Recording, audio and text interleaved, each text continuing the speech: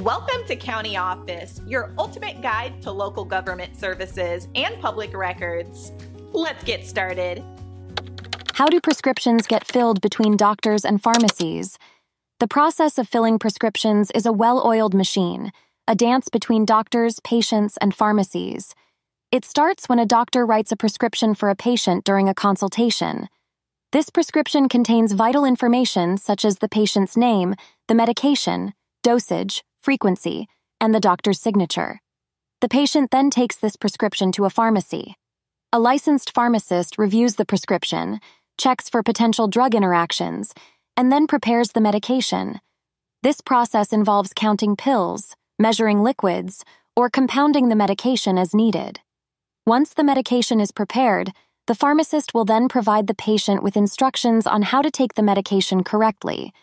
This step is crucial as it ensures that the patient understands how and when to take their medication, promoting effective treatment and reducing the risk of side effects. The patient then pays for the medication, and the transaction is complete. This is a simplified overview of the process, but it gives you a good idea of how prescriptions get filled between doctors and pharmacies.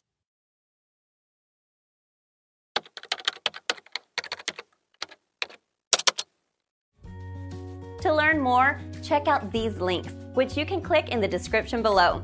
And feel free to comment your questions. We're here to help.